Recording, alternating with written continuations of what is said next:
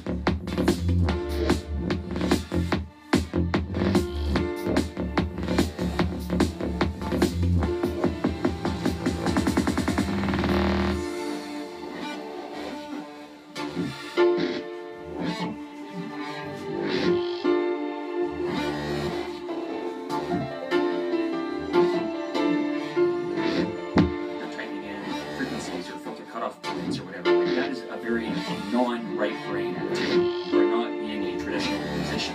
There, you're being more like a computer program.